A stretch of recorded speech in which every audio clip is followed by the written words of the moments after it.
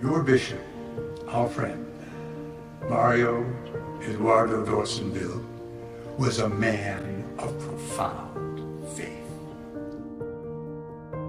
May this joy of our beloved bishop remain with us always as we move forward in hope.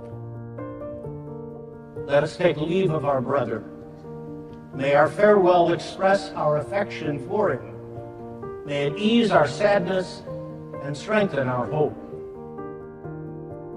Your shepherds understood why Pope Francis urges church leaders to go out, encounter, engage, walk with those who should be so much more closely united with Jesus.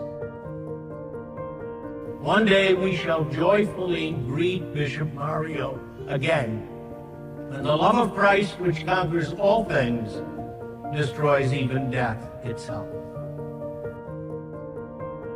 Eternal rest grant unto him, O Lord, and let the perpetual light shine upon him.